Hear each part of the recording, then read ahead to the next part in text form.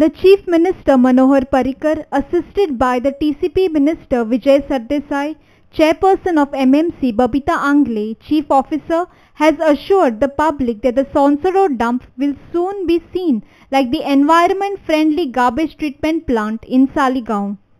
The Chief Minister has also assured of setting up another garbage treatment plant in Verna Industrial Estate at the earliest. The second one in north will be at Baingini where Panji municipality has acquired land.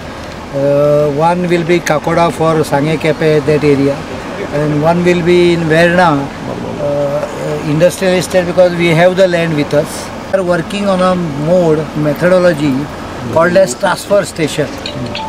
Every panchayat will get a transfer station where they can bring the garbage and put it in the transfer station. Transfer station will compress it and take it out. Work out a target plan.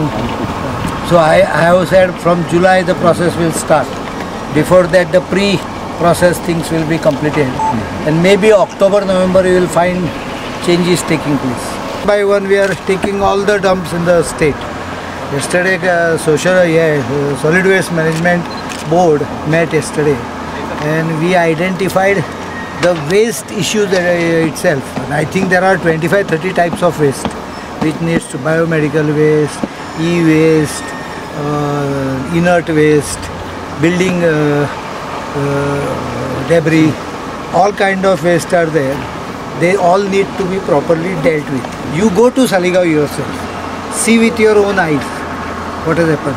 The garbage dump or something, something like this only in Saligaon. That today is almost zero. We have remedial everything and the fresh waste which comes you will not realize that it is garbage treatment. It is that green.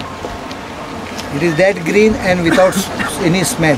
हांगा आतां smell येता पळय तितलोय थंय येना प्लांटान भितर तेच्या कमी येता because the plant is wash clean every debt plus there are bio filters and the treatment to the waste is given within half an hour.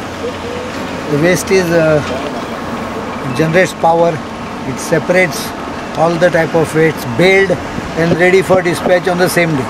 Then we can. Video journalist Gaurang Prabhu from Margao for HCN.